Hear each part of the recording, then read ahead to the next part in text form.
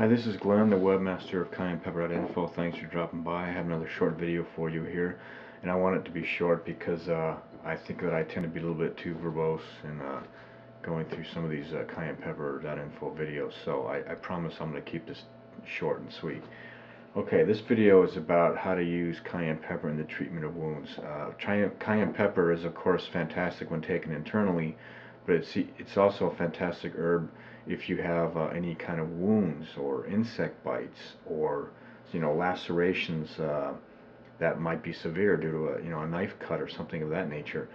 Um, it, I've even heard of cayenne pepper being used in the treatment of uh, as an emergency aid uh, before the the victim was taken to the doctor uh, for those for a person who was shot with a with a gun.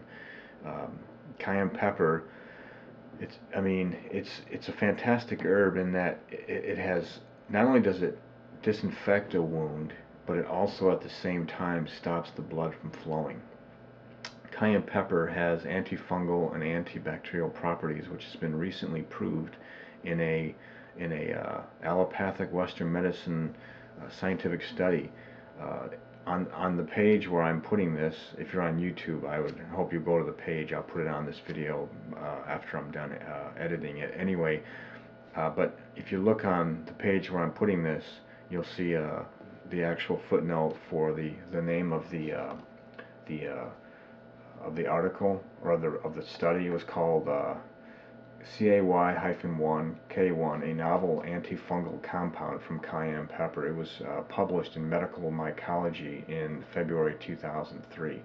And basically, to be short, what it does, there's this particular saponin, uh, CAY-1, it, it, it disrupts the membrane integrity of fungal cells and therefore, uh, among other things, it, it, it has, uh, it's very potent against fungal strains and even against candida, uh, which I didn't know about actually. And I've been studying, using, learning about cayenne pepper for, for literally 20 years. So uh, it's an amazing herb. How do you apply it? This It's this simple. Simply take some of the cayenne pepper powder or the cayenne pepper tincture if you happen to have that.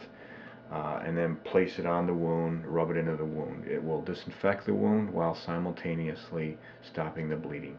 If you had someone with a severe wound, like from a knife or a gunshot wound, heaven forbid, you should of course immediately call 911 or, or a doctor and get medical emergency medical attention. That goes without saying. And, in what, what Cayenne, will do, however, before the, the emergency uh, medical team comes uh, is it will stop the flow of the blood. It will, if you can somehow get the person who's been really hurt by the gunshot wound or the knife cut to drink the glass of warm cayenne pepper water, it will in 10 seconds, it will stop the bleeding, start clotting the blood, and it will, because it, it, it will equalize the blood pressure immediately upon oral ingestion.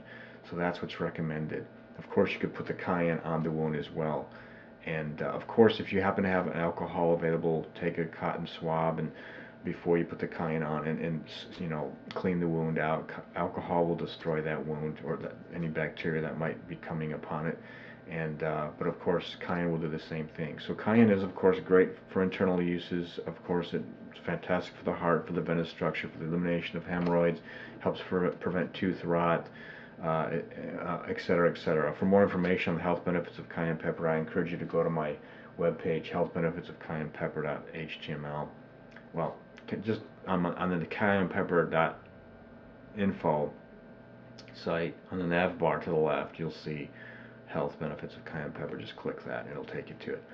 Okay, that, that should do it for this video. Uh, thanks for watching and uh, stay thirsty, my friends.